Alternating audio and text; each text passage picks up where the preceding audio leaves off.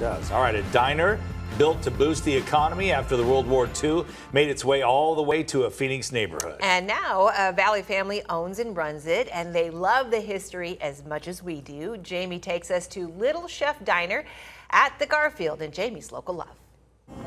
Uh, this is a great space in the Garfield district. It is called Little Chef Diner at the Garfield, and I have the chef and owner Mike Beltran with me. Uh, Mike, first of all, you know Vic, our photographer Victor. How do you know Vic? Uh, high school, Alhambra High School. We went to high school together. He was a grade right below me. Um, my senior year, he was a junior.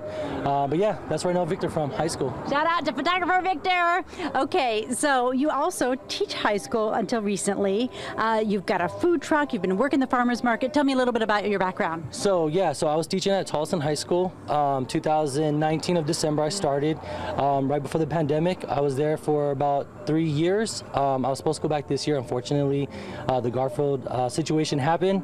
Um, so yeah. Fortunately, you have a new business that you needed to Yes, tend to. So that's exactly. why. That's why. So tell me about this space because uh, it really has a unique history where you renamed it. Yes, so when we purchased it, we purchased it as the Garfield Phoenix. But as I was talking to the landlord, he was explaining to me the history of this diner, and I got super excited just hearing about it. So I started doing my research. I found a website in Kansas where the actual manufacturer was from. His name is Arthur Valentine. So in the 1950s, he created a bunch of different di- diners to help the economy going after World War II. So this specific model was called Little Chef model, which is only 3,500 of these models were uh, made. So ours happened to be in 683, number 683 out of 3,500. So this one was actually found in Williams, Arizona, off of Route 66. Um, the landlord, uh, by the name of Robert Young, he brought it here in 1979, um, and it was put on this property in 1982. Oh my gosh! One of the unique features is the lockbox. Yes. So uh, show, open the door and show, well, let Mike Williams go in here. Uh, what did that uh, lockbox do? What uh, purpose did it serve? So the lockbox on the wall um, shows authentication of the diner, um, and the owners of these diners uh, would put 10% of their earnings um, in the lockbox, and the manu- somebody from the manufacturer would come by, pick up their money, and then be on their way. So that's how they would pay for these diners. Pay, for, pay their rent, right? Pay their rent. All right, Mike, swing around.